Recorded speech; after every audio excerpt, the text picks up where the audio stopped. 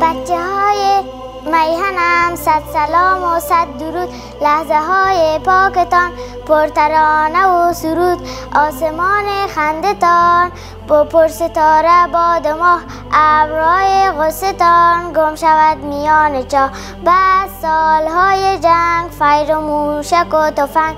آسمان پروبار بارش تگرگ و سنگ. چشمهای خسته میهن عزیزمان.